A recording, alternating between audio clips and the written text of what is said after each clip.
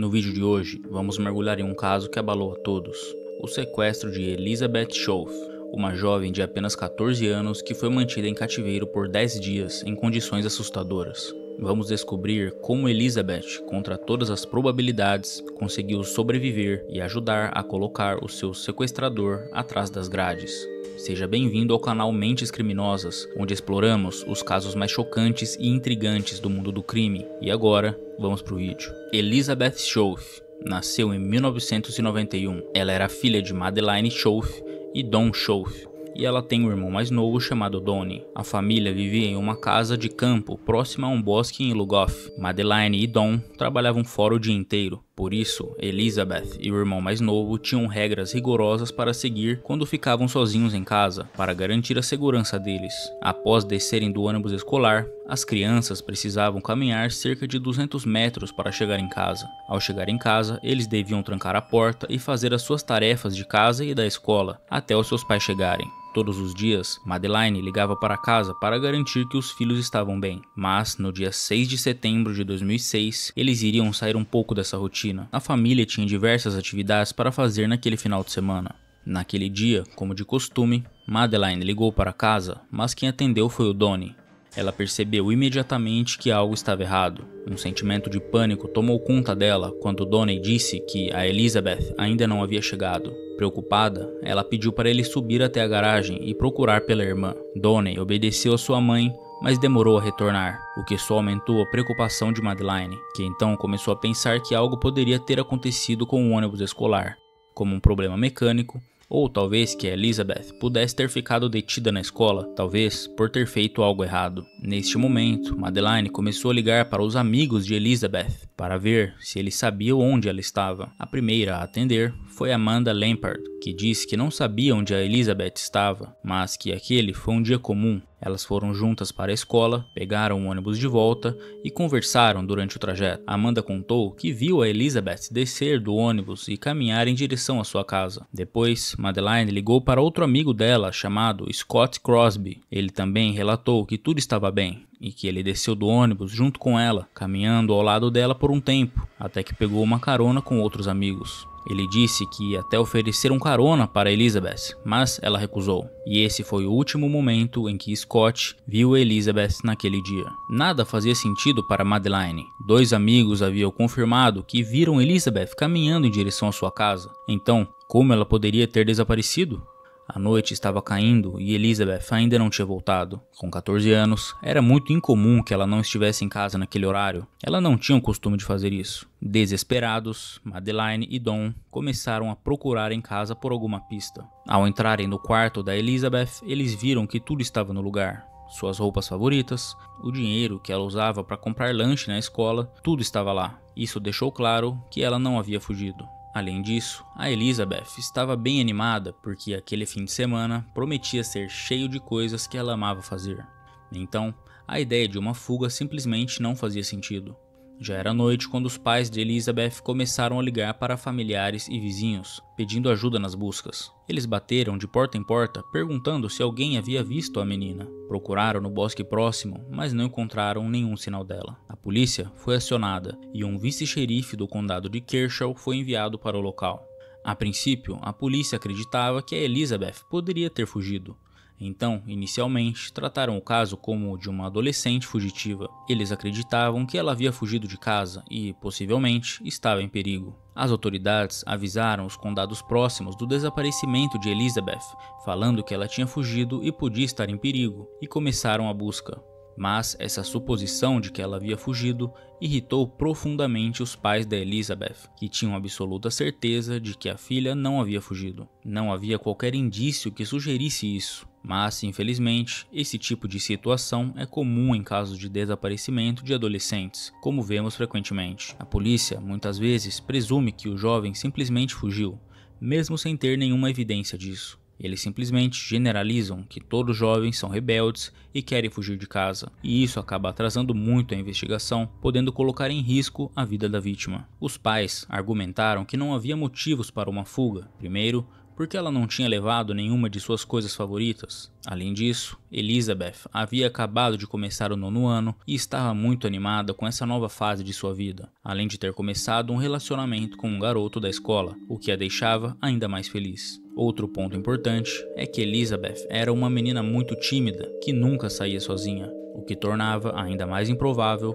que ela tivesse fugido. Mas os argumentos dos pais não conseguiram convencer as autoridades, que continuaram a tratar o caso como uma possível fuga. Mesmo assim, com a insistência dos pais, as autoridades iniciaram buscas mais intensas, incluindo o uso do melhor cão farejador que eles tinham, uma cadela chamada Kate. Mas, infelizmente, Kate não conseguiu detectar nenhum rastro entre o ponto onde Elizabeth desceu do ônibus e sua casa. As buscas continuaram pela madrugada até a manhã seguinte, chegando a envolver o uso de helicópteros, mas até aquele momento não havia pistas sobre o paradeiro da Elizabeth. A comoção da população aumentou quando as emissoras de TV locais começaram a divulgar o desaparecimento de Elizabeth, exibindo sua foto e solicitando ajuda da população. Isso fez com que muitas pessoas, incluindo completos desconhecidos, se mobilizassem para ajudar nas buscas. Uma tia de Elizabeth também tomou a iniciativa de imprimir e distribuir panfletos pela cidade, e em pouco tempo, praticamente todos na região sabiam do desaparecimento dela. Mas, mesmo com todo esse esforço, as buscas não estavam trazendo nenhum resultado. No dia 9 de setembro, já haviam se passado três dias desde que Elizabeth desapareceu, e as buscas continuavam intensas. A polícia vasculhava todos os lugares possíveis, chegando a usar até cavalos para cobrir áreas de difícil acesso. Apesar de ainda acreditarem na hipótese de fuga, os oficiais começaram a considerar que, se Elizabeth tivesse realmente fugido, ela provavelmente já teria entrado em contato com os pais, o que não havia acontecido. Durante a investigação, a polícia perguntou a Madeline se havia algum motivo para que Elizabeth quisesse fugir. Madeline mencionou que na manhã do desaparecimento, o clima em casa estava corrido e a única coisa que aconteceu foi que Elizabeth ficou chateada por não ter tido tempo de passar maquiagem antes de ir à escola. Porém, isso não parecia ser motivo suficiente para que ela decidisse fugir de casa.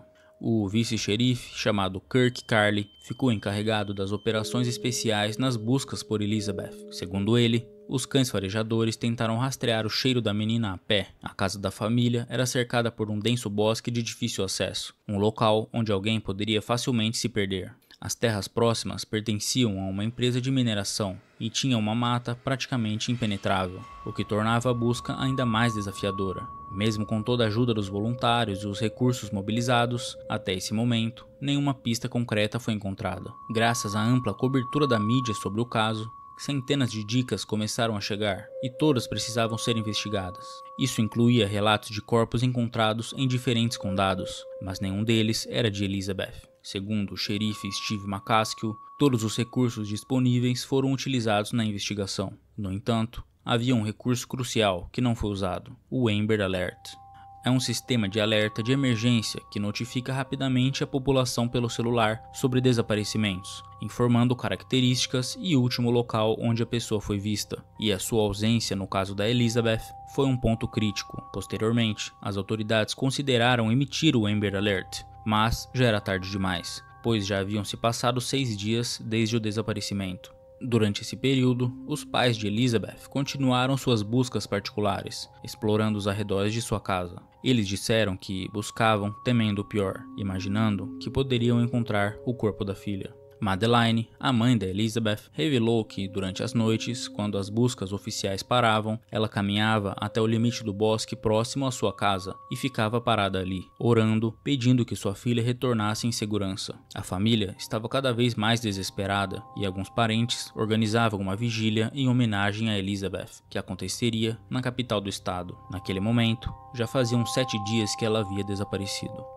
Madeline planejava ir à vigília, mas antes de sair de casa, ao pegar o celular, ela viu que havia recebido uma mensagem de um número desconhecido. A mensagem dizia o seguinte: Oi mãe, é a Lizzie. Estou em um buraco em frente a Charm Hill, aonde os caminhões grandes entram e saem. Há uma bomba. Chame a polícia. Ao ler a mensagem, Madeline soube imediatamente que era sua filha. O apelido Lizzie era um apelido carinhoso que Madeline chamava a filha, e o jeito como a mensagem foi escrita era exatamente como Elizabeth costumava escrever. Charm Hill era uma propriedade privada pertencente a uma empresa de mineração, situada em uma área onde a polícia ainda não havia realizado buscas. As autoridades, embora cautelosas, temiam que fosse algum tipo de trote, mas, mesmo assim, policiais se dirigiam ao local. Enquanto isso, o US Marshal iniciou o rastreamento do número de telefone. A polícia, no entanto, não quis esperar pelos resultados e começou a vasculhar a área na mesma noite, continuando até o dia seguinte, mas não encontraram nada. Decididos a investigar o número da mensagem, as autoridades realizavam uma triangulação para rastrear a origem do sinal. Técnicos analisaram a localização eletrônica através das torres de celular próximas e o número foi rastreado até um homem conhecido da polícia e que já estava sendo procurado, Vincent Filial, de 36 anos. Vinson nasceu em 15 de dezembro de 1969. O seu pai morreu quando ele tinha apenas um ano de idade e sua mãe se casou novamente. Ele descreveu sua família como normal, sem traumas ou eventos que pudessem o influenciar de forma negativa. Na juventude, Vinson era escoteiro e ele gostava muito de acampar e se aventurar ao ar livre. Durante os anos 80, ele se tornou fascinado pelos filmes de Rambo e por artes marciais. Antes mesmo de se tornar adulto, já havia desenvolvido uma forte dependência de álcool. Mais tarde, ele começou a se relacionar com uma mulher chamada Cindy Hall, que era mãe solteira de três filhos. Para sustentar a família, Vinson trabalhava com construção civil. No entanto, a maior vítima dessa relação foi a filha de Cindy, Amber. Amber relatou que desde os 11 anos de idade ela foi abusada por seu padrasto. Amber tem dificuldades em recordar os detalhes dos abusos, mas sabe que eles aconteciam com frequência. Quando questionada, o seu psicológico fazia a dissociação como uma forma de defesa, e isso a impedia de lembrar detalhes do que acontecia. Meses se passaram e esses abusos continuavam acontecendo. Mais tarde, Vinson confessou que Cindy, a mãe de Amber, dava a ela um remédio chamado Benadryl, para que ela ficasse desacordada durante os abusos. Amber também relatou que frequentemente acordava sem suas calças, o que a deixava aterrorizada. Em um momento particularmente assustador, ela viu Vinson cavando um buraco no quintal. Quando perguntou o que ele estava fazendo, ele respondeu que estava construindo um porão para tempestades. Basicamente, ele estava construindo um bunker. Amber também revelou que, em algumas ocasiões, Vinson a trancava nesse buraco, deixando-a sozinha lá dentro, enquanto ele fechava a porta por fora até que ele resolvesse que era a hora de tirá-la de lá. Como a maioria das vítimas de abusos, Amber foi orientada a não contar isso para ninguém e foi ameaçada para ficar calada. Mas, depois de alguns meses, Amber tomou coragem e contou tudo a um professor que era muito próximo dela. Esse professor, rapidamente, denunciou Vinson, que a partir daquele momento passou a ser um procurado da polícia. Desde 2005, a polícia ia frequentemente ao trailer onde Vinson morava, mas ele nunca estava lá. As autoridades tiraram as crianças da casa e as levaram para morar fora do estado, para protegê-las de Vinson. Então, após horas de busca, a polícia finalmente encontra o que eles precisavam: um rastro de onde Vincent Filial estava se escondendo. Ele tinha feito uma rede de bunkers e esconderijos subterrâneos para escapar da polícia, algo que vinha funcionando por muito tempo. Dentro do trailer onde ele morava, eles encontraram evidências comprometedoras, pornografia, bebidas alcoólicas e sinais claros de que ele estava vivendo uma vida de abuso, drogas e violência. Mas o que mais chamou atenção foi um buraco debaixo do colchão no quarto. Era ali que ele se escondia toda vez que a polícia fazia uma batida. Um esconderijo tão bem camuflado que só poderia ser notado com muita atenção. A partir dali, a polícia começou a explorar todo o terreno em volta, e foi quando descobriram outros bunkers cavados por Vinson. Um deles ele havia feito recentemente, porque estava coberto por terra fresca. As autoridades perceberam que, se Elizabeth realmente tivesse sido sequestrada, ela poderia estar sendo mantida presa em algum desses bunkers feito por Vinson. O relatório de Amber sobre como Vinson a trancava nesses bunkers ajudou a polícia a pensar nessa hipótese. Enquanto isso, a notícia de que a polícia havia identificado um suspeito já estava circulando na televisão. A família de Elizabeth, ao assistir as manchetes, ficou aterrorizada. O medo maior era que, se Vinson estivesse assistindo, ele poderia agir por impulso e fazer algo ainda mais terrível com a jovem. Mas o xerife explicou que, apesar do risco, era necessário que o suspeito soubesse que estava sendo caçado. O medo era de que Elizabeth poderia estar correndo um risco de vida real, mas, nas palavras do xerife, era um risco que precisava ser assumido. Então, na manhã do dia 14, no nono dia de buscas, a equipe policial ampliou os esforços. Eles estavam agora em um terreno de 265 acres, utilizando desde pessoas a pé até cavalos e quadriciclos. O objetivo era cobrir o máximo de território possível. Foi então que, enquanto caminhava pela parte mais densa da floresta, o capitão David ouviu algo que mudou tudo: uma voz feminina. Então ele seguiu a voz e, para sua surpresa e alívio, ele encontrou Elizabeth parada no meio das árvores. A jovem estava desorientada, mas, para o alívio de todos, ela estava viva. Uma ambulância foi chamada imediatamente e ela foi levada para o hospital mais próximo. O capitão David foi pessoalmente até a casa dos pais de Elizabeth para dar a notícia. Quando ele chegou, os pais, que estavam tomados pelo medo e pela ansiedade, foram para o hospital o mais rápido possível. Ao encontrarem a filha, o alívio foi indescritível. Elizabeth não apresentava ferimentos físicos graves, mas claramente havia passado por dias de terror. Ela finalmente teve a chance de contar para as autoridades todos os detalhes do que havia acontecido durante os dias em que esteve desaparecida. Assustada, mas determinada, ela começou a narrar desde o momento em que foi sequestrada. Segundo Elizabeth, naquela fatídica quarta-feira, ela estava prestes a entrar em casa quando viu um homem saindo da floresta e se aproximando dela. Esse homem usava um distintivo de polícia e alegou que precisava falar com ela. Sem reconhecer o homem, ela ficou confusa, mas ele não deu muito tempo para questionamentos. Logo, o homem a algemou, afirmando que ela estava presa por envolvimento com posse de drogas e mencionou que o seu irmão já havia sido detido. O sequestrador era Vincent Filial, mas ele não parou por aí. Ele ainda colocou um dispositivo que parecia ser uma bomba em seu pescoço. Elizabeth, sem saber que era falso, entrou em pânico. Foi então que o suposto policial, ao invés de conduzi-la para uma viatura, a levou para a floresta adentro, alegando que queria mostrar para ela um lago e uma casa. Durante essa caminhada, ele começou a fazer perguntas estranhas. Por exemplo, ele perguntou se ela era virgem e se tinha um celular. Foi nesse momento que Elizabeth percebeu que algo estava muito errado. Nenhum policial faria perguntas tão invasivas e pessoais. Foi quando ele finalmente afirmou que ela já sabia. Aquilo era um sequestro. Nesse momento, o desespero tomou conta de Elizabeth. Então, após andarem por cerca de uma hora, durante a qual Vinson repetidamente mudava de direção para confundir a Elizabeth, ele abriu um alçapão no chão e a obrigou a entrar em um bunker subterrâneo. Ela estava aterrorizada, mas obedeceu, especialmente porque ele estava armado e visivelmente disposto a usar as armas. Uma vez lá dentro, Vinson revelou suas verdadeiras intenções, acendendo uma luz de bateria e deixando claro que Elizabeth seria abusada. O bunker tinha cerca de 14 metros quadrados e 1,80m de profundidade. Ela relatou que os abusos aconteceram todos os dias, de duas a cinco vezes por dia.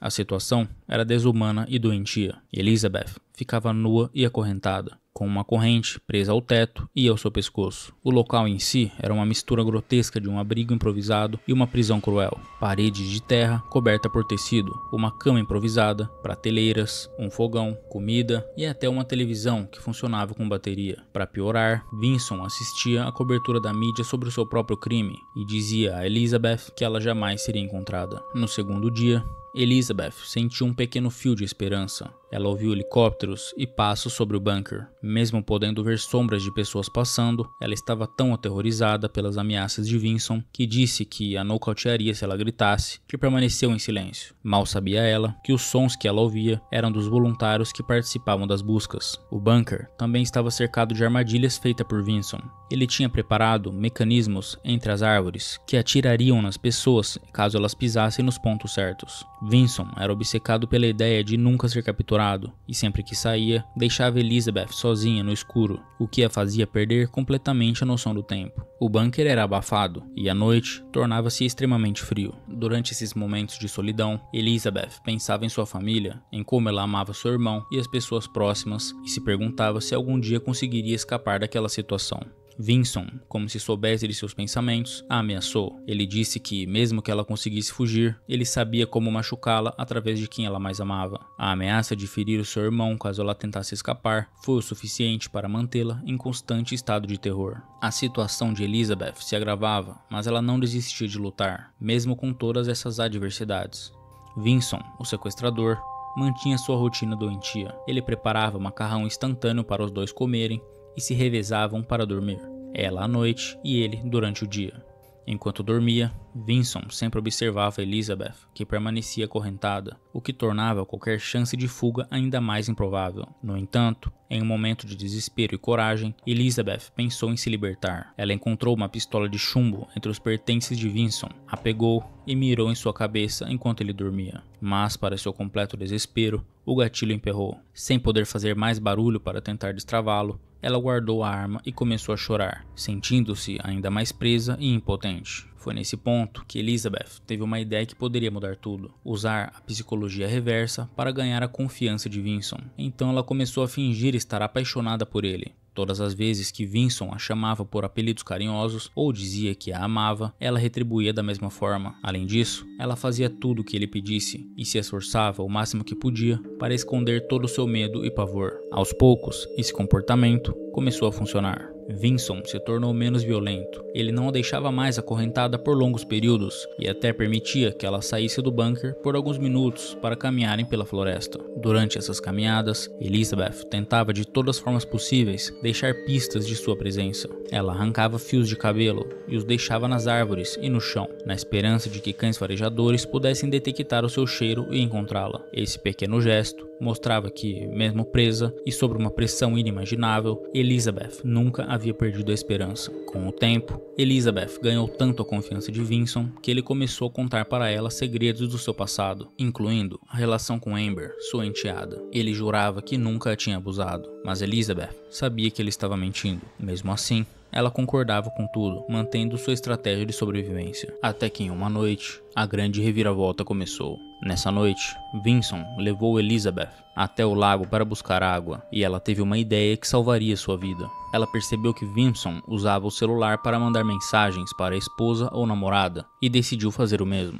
Quando ele estava dormindo, Elizabeth pegava o celular dele e tentava enviar mensagens de socorro, mas nenhuma delas parecia ser enviada, por falta de sinal. Em uma dessas tentativas, Elizabeth foi pega. Vinson acordou e a flagrou com o celular na mão, mas ela disse a ele que estava apenas jogando, e ele acreditou, pois às vezes a deixava jogar no celular. Com isso, ela conseguiu escapar de uma punição, mas sabia que estava chegando ao seu limite e a sua vida corria cada vez mais risco. Em outro dia, Elizabeth tentou escapar, Durante a noite, enquanto Vinson dormia, ela tentou abrir a porta pesada do bunker, usando toda a sua força, mas, infelizmente, a porta nem se mexeu. Sentindo-se frustrada, Elizabeth começou a acreditar que nunca conseguiria enviar uma mensagem e muito menos se libertar.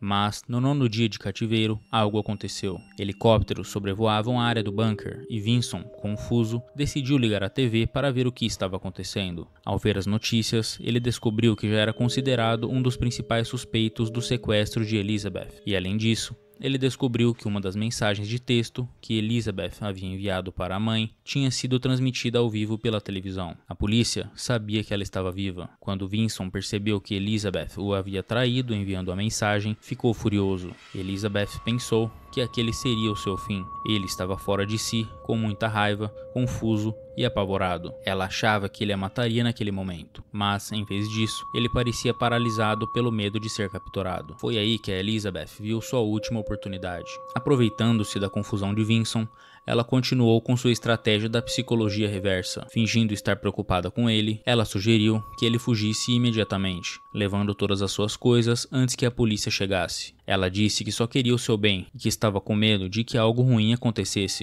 Vinson, ainda mais confuso, decidiu seguir o seu conselho. Na manhã do décimo dia, ele começou a preparar suas coisas para fugir.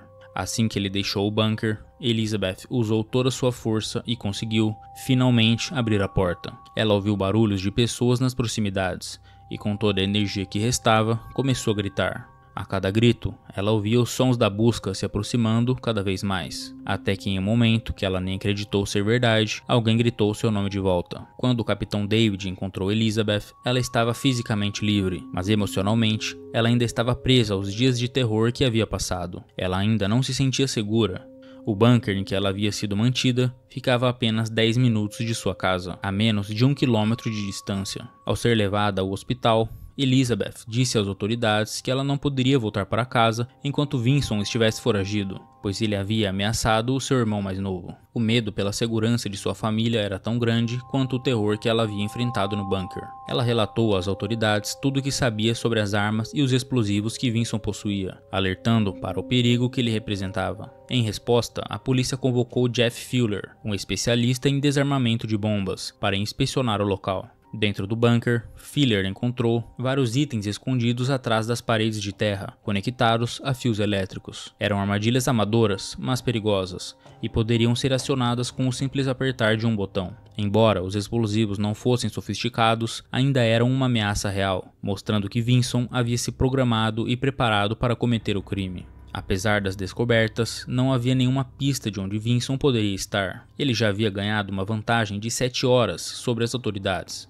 mas ele estava a pé. Sabendo que suas chances de escapar dependiam de conseguir um veículo, ele começou a procurar um carro. A oportunidade surgiu quando ele encontrou um carro próximo a uma pizzaria. Dentro do veículo estavam Jennifer Lee e sua filha. Armado e com uma faca presa ao cinto, Vinson ameaçou as duas. No entanto, Jennifer reconheceu seu rosto das reportagens. Corajosa e inconsequente, ela começou a xingá-lo, o insultando por estar ameaçando a vida dela e de sua filha, e por ter sequestrado a Elizabeth. A sua reação inesperada fez com que Vinson desistisse do roubo. Ele fugiu a pé pela calçada, enquanto Jennifer rapidamente chamou a polícia polícia. Poucas horas depois, Vinson foi finalmente localizado. Ele estava deitado de bruços em uma vala quando foi localizado. Imediatamente, ele foi algemado e levado sob custódia. A captura ocorreu em 17 de setembro, um dia depois da libertação de Elizabeth quando as autoridades ligaram para a família de Elizabeth por volta das quatro e meia da manhã para informar que o sequestrador havia sido capturado, ela estava dormindo na casa de sua avó. Mesmo após tudo que tinha passado, ela queria estar presente quando Vinson fosse julgado. Poucos dias depois, na audiência, ela se sentou na primeira fileira, observando seu sequestrador ser levado ao tribunal. Vinson, por ordem do xerife, vestia um colete à prova de balas.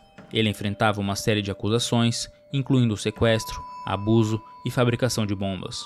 Enquanto aguardava o julgamento, Vinson concordou em dar uma entrevista à NBC News. Durante essa entrevista, ele falou sobre sua infância e mencionou o caso de Amber, a quem ele se referia como Peanut. Ele alegou que nunca teve a chance de contar sua versão da história, afirmando que a polícia apenas acreditou na versão de Amber e tentou prendê-lo. Segundo ele, por causa dessa perseguição, ele decidiu se esconder na floresta. Vinson revelou que seu plano inicial era viver escondido em um bunker que ele mesmo construiu.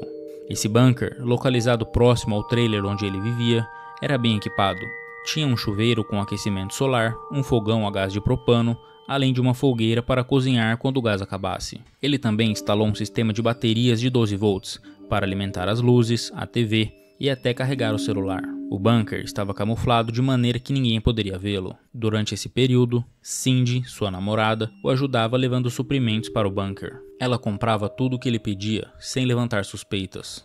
Durante quase um ano, Vinson arquitetou seu plano de vingança contra Amber, alimentando um ódio profundo pelos policiais que tentaram prendê-lo. Ele comprou armas, algemas e até um óculos de visão noturna, planejando sequestrar Amber e mantê-la no bunker. Segundo ele, o seu plano era abusar de Amber da mesma forma que ela o havia acusado falsamente, e depois decidiria se a mataria ou não. No entanto, quando descobriu que Amber havia deixado a cidade, ele mudou de alvo. Foi então que ele decidiu que sequestraria outra jovem e que acionaria os explosivos dentro do bunker, matando ambos. A escolha de sua nova vítima, Elizabeth, não foi aleatória. Vinson começou a observar os ônibus escolares e assim viu Elizabeth. Ele planejou o sequestro meticulosamente. Ele decidiu que usaria um disfarce de policial para enganá-la e a levaria até o bunker, onde pretendia fazer dela a sua última vítima. Vinson, durante sua entrevista final, revelou detalhes sombrios sobre o que o motivava. Ele disse que a busca pela vítima perfeita lhe trazia uma sensação de excitação e que o fato de conseguir enganar as autoridades enquanto procuravam por Elizabeth foi um triunfo pessoal. Usando um cobertor térmico de alumínio para bloquear a detecção de calor dos helicópteros, ele vagava pela floresta sem ser encontrado, se gabando de sua invisibilidade. Em sua mente, todo o processo era um jogo doentio e macabro, onde ele acreditava estar sempre à frente da polícia. Seu plano, segundo ele, era explodir o bunker com ele e Elizabeth dentro. No entanto, ele afirmou que com o tempo começou a desenvolver uma espécie de afeto por Elizabeth. Ele alegou que ao ver que ela demonstrava carinho por ele, algo que na realidade era uma tática de sobrevivência da vítima, seu desejo de seguir com a explosão começou a enfraquecer. Ele até a deixou usar o telefone, ciente de que ela tentaria enviar mensagens, mas não se importava, pois segundo ele, o seu plano já estava quase completo. O mais perturbador foi quando ele afirmou que, em vez de explodir tudo, começou a pensar em manter Elizabeth por mais tempo no bunker e que, no final, eles escreveriam um livro juntos sobre essa experiência. Para Vinson, o crime era uma mistura de manipulação, controle e egocentrismo. Ele não via suas ações como erradas, e sua visão deturpada da realidade só piorava com suas tentativas de justificar os atos horríveis que cometeu.